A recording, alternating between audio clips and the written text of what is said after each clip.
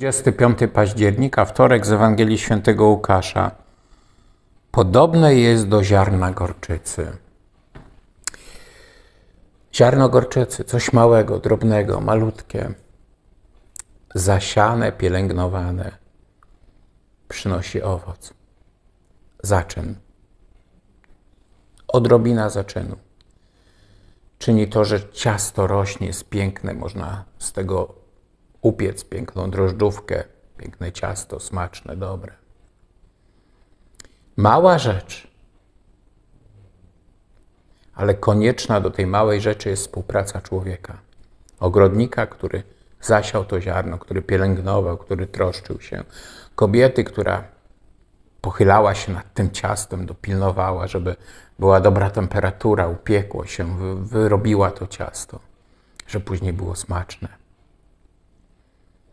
Tak jest z naszą wiarą. Bóg zasiewa. Bóg daje to ziarno wiary w naszym sercu.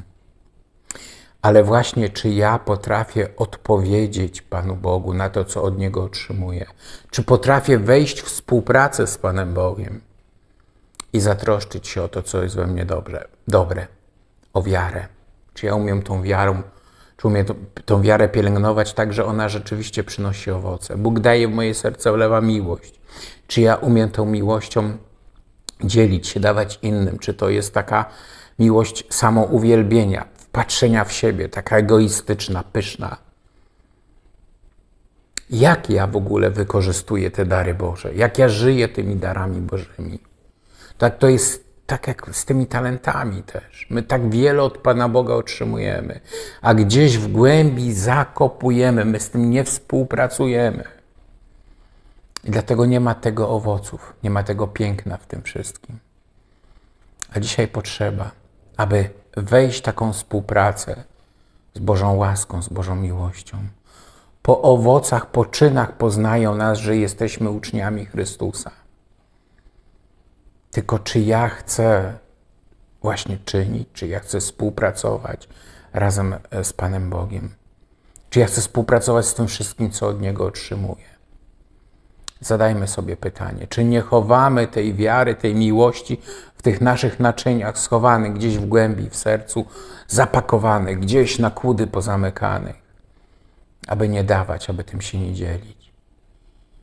Wiara, miłość to jest to, co nie jest naszą własnością, ale to jest tym, co otrzymaliśmy od Boga w darze za darmo i mamy dalej przekazywać.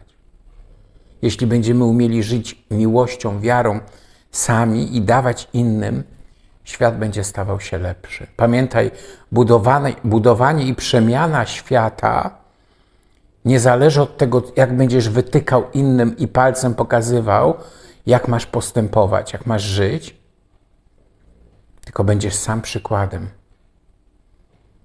Jeśli modlisz się o nawrócenie swojej córki, syna, to bądź przykładem dla tej córki i syna.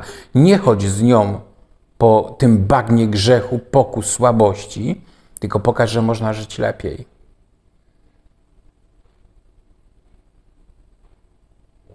Być świadkiem tego, co mówię, co robię, co czynię.